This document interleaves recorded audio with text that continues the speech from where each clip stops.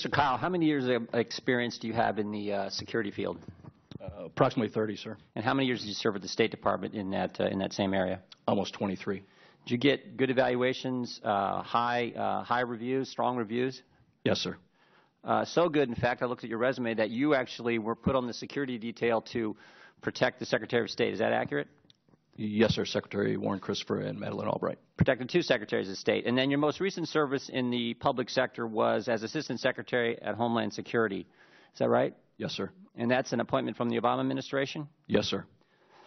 You trust the agents in the field, Mr. Keil? I trust them implicitly. They know, they have the best perspective. They know the ground truth. They know what's going on. on So their assessment, their instincts, they're the guys on the ground putting their, putting their lives on the line just like you did. So when they make a recommendation to the State Department, you take that seriously. yes, I would.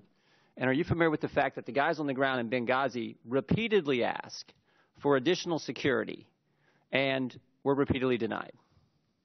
Yes, sir, from what we saw. Routinely denied. They said, "We need look this this thing's out of control. We need some we need some more good guys here." And repeatedly asked for that, repeatedly denied, and it was worse than that, wasn't it, Mr. Keil? Mm, Possibly, yes, sir. Yeah, because what they asked for, then they said we need more, but what they had was actually reduced. Is that accurate? Yes. We, we heard about a year and a half ago testimony from Colonel Wood, who was on the ground in Benghazi, and he said this quote, We were fighting a losing battle. We couldn't even keep what we had. Now, Mr. Keil, my, my guess is, you know, we've heard there's, we got, we're the United States of America. We got facilities all over the globe.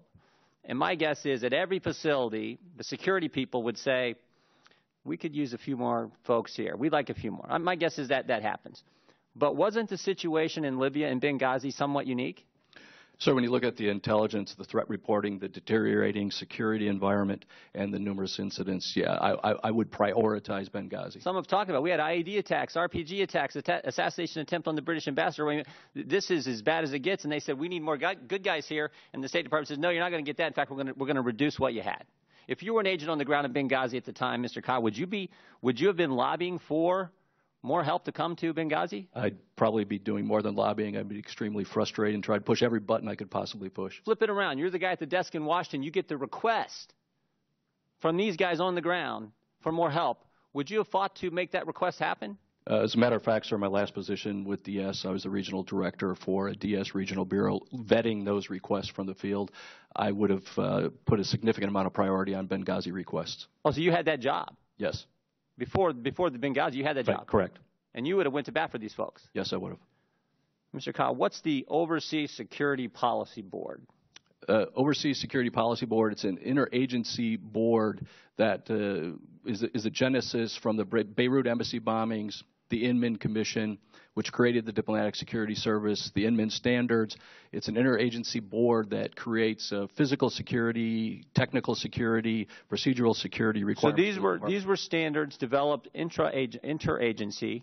So they're the State Department standards. Is that correct? State Department, OSPB. And this resulted from the embassy bombing in Beirut, where 63 people were killed, 17 Americans. Yes, sir. And were the standards followed at the Benghazi facility? Sir, we saw a memo which authorized the continuing opening of the Benghazi mission, which, which referred to it as the Special Mission Compound. And talking with people, and based on my experience, it was a purposeful effort to skirt the standards. So the standards weren't followed. No.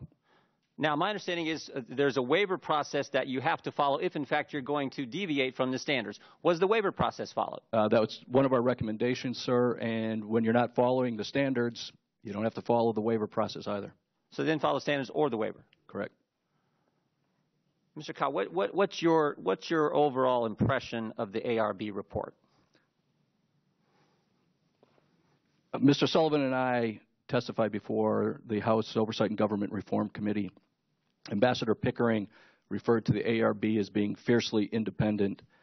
In that same hearing, Admiral Mullen admitted to Oversight and Government Reform that uh, he was reporting on ARB proceedings to the senior staff of the State Department outside of the, the precepts and the requirements of being a member of the ARB. Um, I don't think that fits anyone's definition of being fiercely independent. Do you not think it was independent at all? Not based on what was. Frankly, I share, I share your belief. I mean, when, when the Secretary, when Secretary Clinton gets to appoint the, the co-chairs of the board, when Cheryl Mills calls them up and asks them to serve, when neither Secretary Clinton or Cheryl Mills are interviewed, when they get a draft report before it goes public. In essence, they get to edit the report before the rest of the world gets to see it. Uh, and as you point out, when Admiral Mullen told the committee, told the committee, he, now think about this, he's been on the job a few days as the co-chair of the supposedly independent ARB. Been on the job a few days. He interviews Charlene Lamb. He discovers that Charlene Lamb's going to, two days later, come in front of the Oversight Committee, and he realizes she's not going to be a good witness. What's he do? Just what you just what you referenced, Mr. Keil. He gets on the phone and calls the chief of staff to the Secretary of State and says, "Hey, Charlene Lamb's not going to be a good witness. She's not going to reflect well in the State Department." He gives a heads up to the very person he's supposed to be investigating. So of course this thing wasn't independent. I mean, think about we we asked Mr. Mullen, "Why do you care?" Whether she's a good witness or a bad witness, your job is to get to the truth for the American people and for the families of those four individuals who lost their lives, not to give a heads up to the higher ups at the State Department. So it was anything but independent. But here's there was one good thing that came out of the ARB, in my judgment. At least one good thing. They created the best practices panel that you and Mr. Sullivan sat on, right? Yes. And you guys made a whole bunch of recommendations. Yes. How many recommendations again? 40 recommendations. 40 recommendations. And some of them are more important than others. Is that right? Yes. And the most important one is which one? the creation of an undersecretary for diplomatic security. In fact, sir, in our executive summary, we said one clear and overarching recommendation. It's crucial to the successful and sustainable implementation of all of the recommendations in this report is the creation of an undersecretary. And is that the first recommendation you listed in your it's report? Recommendation number one. So it's recommendation number one.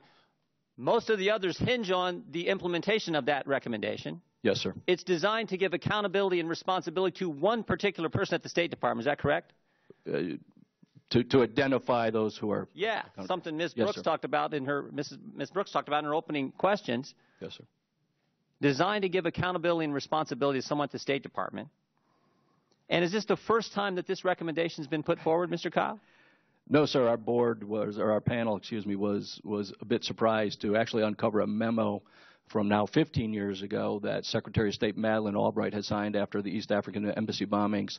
Uh, during the creation of an undersecretary for diplomatic security. So, so we have the Overseas Security Policy Board created after Americans were killed in Beirut. Sir. That wasn't followed.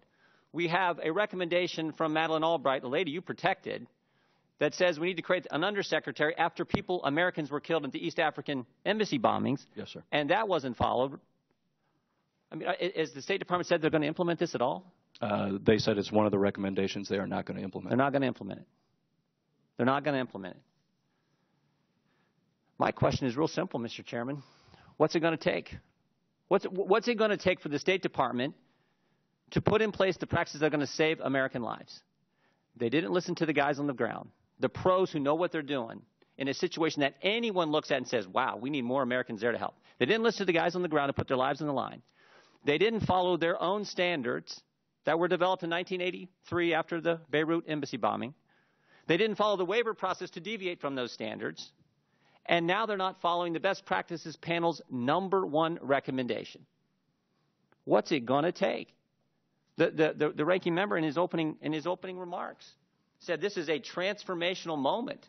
Well, somebody better tell the State Department that.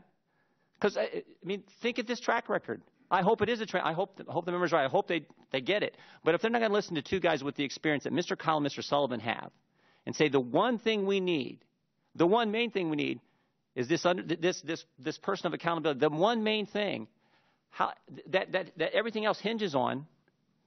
I mean, talk about the arrogance of the State Department. So hopefully one of the things we can, this, this committee can do is at least convince them to follow these guys, what they said.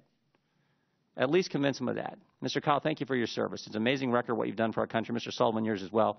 We appreciate the work on the best practices panel. 42 seconds, I would, I would yield. Why don't you ask the State Department? I mean, you- can ask him that question. Yeah. The way this works, What- I think what's Mr. your- what is your- reclaiming, what- my time? That, that's you- you're welcome to do it, Mr. Chairman. I think you spent a lot of time on Mr. Starr. I, I chose to focus on Mr. Keil, who's got 30 years of experience, appointed by the Obama administration, 23 years in the State Department, viewed so highly that he was actually on the protective detail for Secretary of State Warren Christopher, Secretary of State Madeleine Albright. I chose to use my 10 minutes on Mr. Keil. The minority can use their 10 minutes on whoever witness they want. In fact, this was a hearing they called. You can, you can handle however you want.